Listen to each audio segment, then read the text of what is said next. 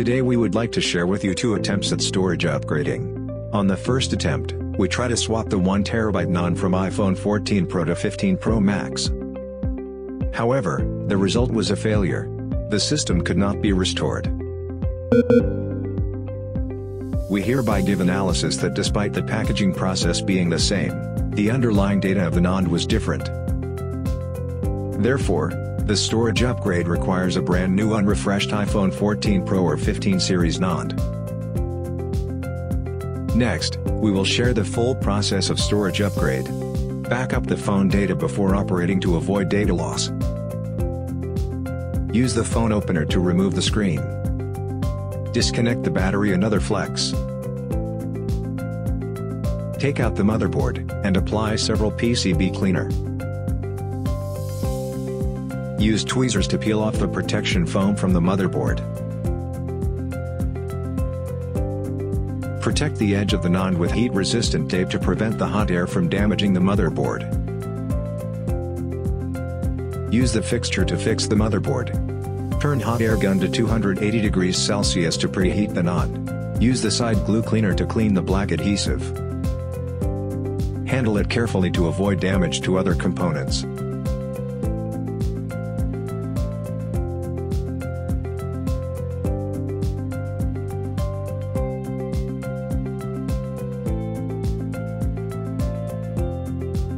Adjust the hot air gun to 400 degrees Celsius and heat the NAND. Use a pry knife to remove the NAND from the motherboard.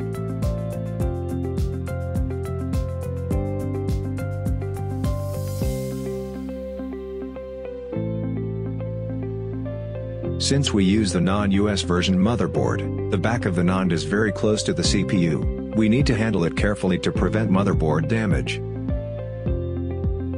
Next, we reball the 1TB NAND. Apply some middle temperature solder paste evenly.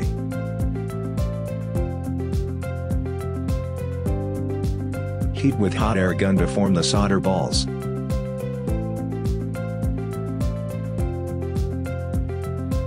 Use hot air gun to reset the solder balls.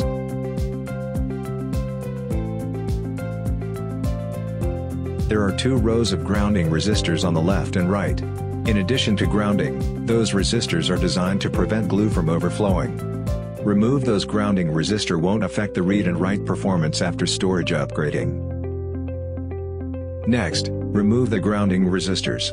Use hot air gun at 380 degrees Celsius to remove the resistors.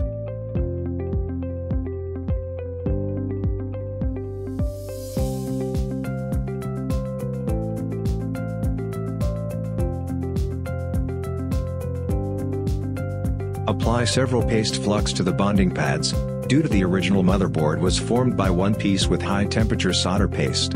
It is necessary to use medium temperature solder paste to lower the melting points to avoid pseudo-soldering.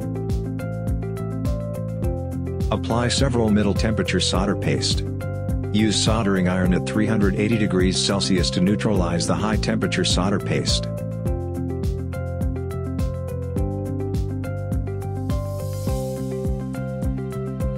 Use the soldering iron and solder wick.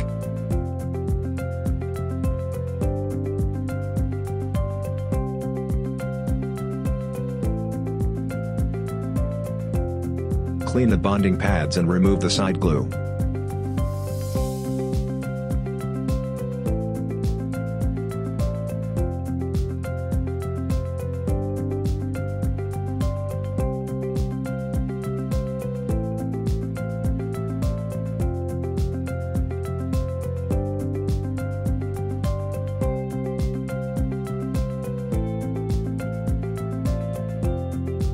Use PCB cleaner to clean the bonding pads again.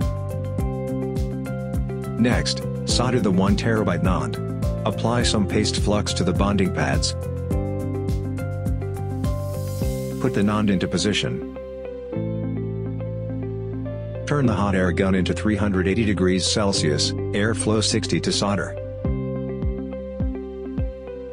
Use tweezers to push the NAND slightly. The NAND automatic returns to its original position, the soldering is complete. We need to wait after the motherboard to cool. And then apply the protective black adhesive. Use UV curing lamp to cure. Tear up the protective tape and apply the protective foam. Install the motherboard to the phone. Apply the new waterproof adhesive.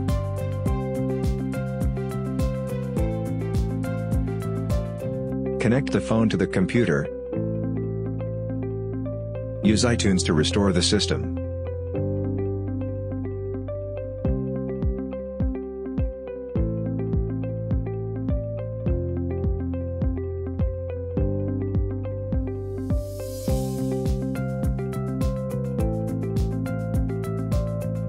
The storage has been upgraded to 1 terabyte successfully.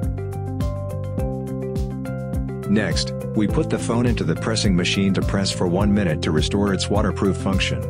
Above is the whole process of iPhone 15 Pro Max storage upgrading to 1 terabyte. Let us know in the comments. If this video is helpful for you, please click like and follow our channel. Thanks for watching.